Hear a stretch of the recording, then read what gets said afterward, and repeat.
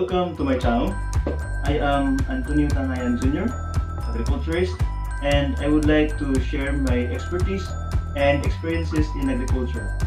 So today's episode, I am going to share with you the basic management of pig or swine during delivery or farrowing.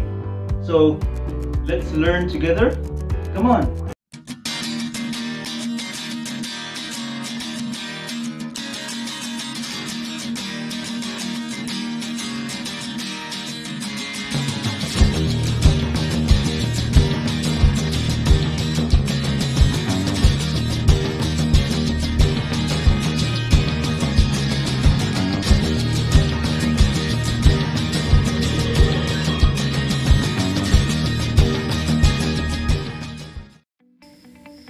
So here are the materials needed during farrowing.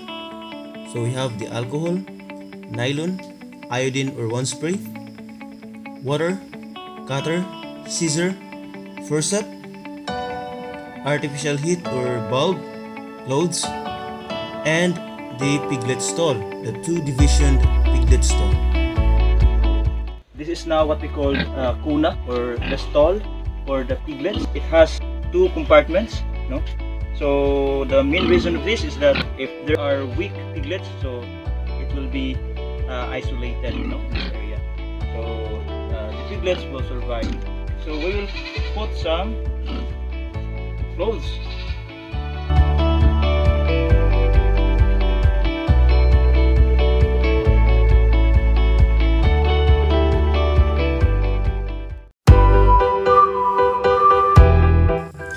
The average pregnancy period of gilt or sow is 114 days.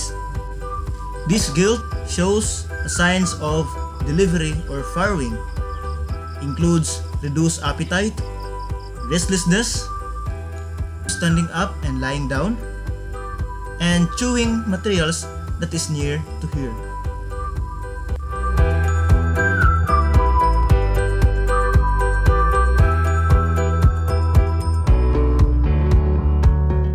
Teat enlargement occurs.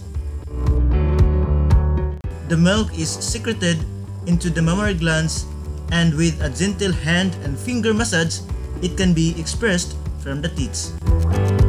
So these are some of most reliable signs of impending delivery or farrowing.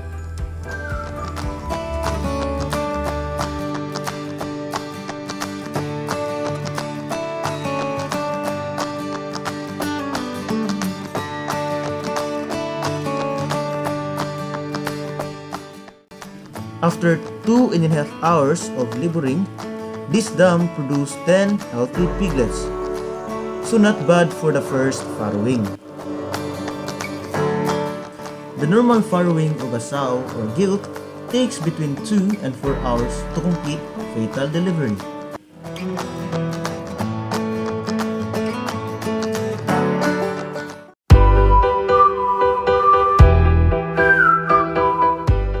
Right after the delivery, the offspring should intake the first milk produced by the dam. And the first milk produced by the dam is what we call colostrum. Colostrum contains essential antibodies or immunoglobulins for the health of the newborn piglet. Antibodies are produced by the body to kill bacteria and viruses.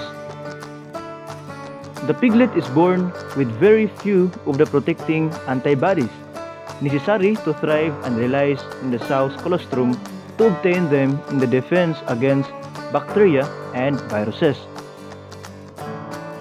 Colostrum is a rich source of highly digestible nutrients which are critical to establishing the newly born piglet and studies indicate that colostrum contains natural growth factors for the normal development of vital life sustaining organs.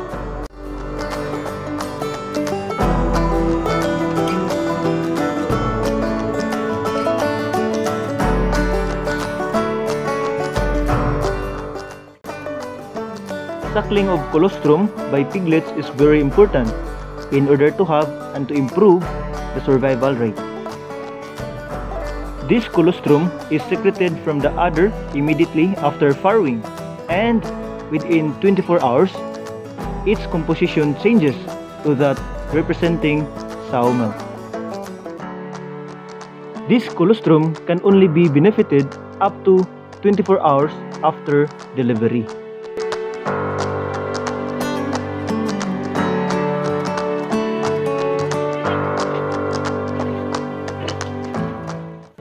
Okay, so we need to massage the the belly part of the dam so that uh, it allows her to relax.